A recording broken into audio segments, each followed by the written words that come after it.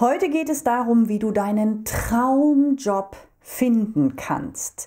Hallo und herzlich willkommen auf meinem Videoblog. Ich freue mich, wenn du diesen Kanal abonnierst, denn hier gibt es jede Woche Tipps zur Kommunikation, Führung, Business, Selbstführung und heute geht es um deinen Traumjob. Ja, wie findet man den eigentlich, den Traumjob?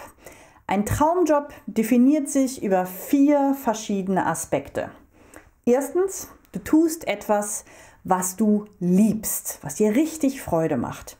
Zweitens, du kannst das auch richtig gut, was du da liebst.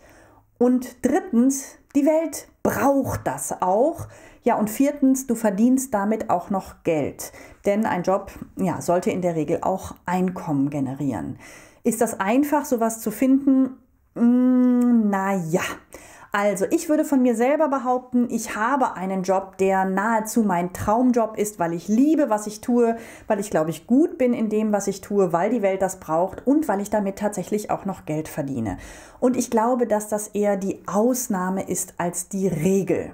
Wie heißt es so schön? Es gibt da draußen 5% von Menschen, die ihren absoluten Traumjob haben und die machen die anderen 95% total verrückt, weil sie ihnen die ganze Zeit von diesem Traumjob erzählen.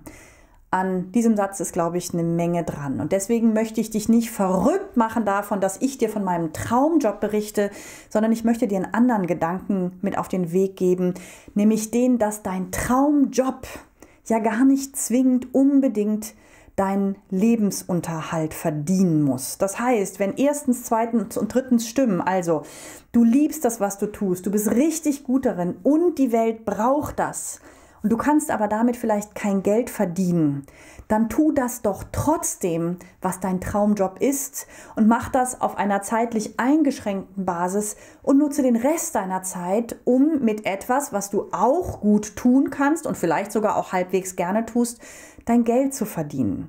Nur weil wir nicht mit jedem Traum Geld verdienen können, müssen wir ihn ja nicht aufgeben. Wir können es ja trotzdem tun. Wir können ja trotzdem mit einem Traumjob unsere Seele füttern und dann haben wir eben noch einen anderen Job, der unser Portemonnaie füttert. Was ist also dein Traumjob? Wenn du damit Geld verdienen kannst, super. Und wenn du damit kein Geld verdienen kannst, ja, dann ist das vielleicht auch in Ordnung. Dann tust trotzdem zeitlich etwas eingeschränkt und suche dir was anderes, womit du gut Geld verdienen kannst. Verdiene da dein Geld und mach deinen Traumjob zu deiner weiteren Beschäftigung.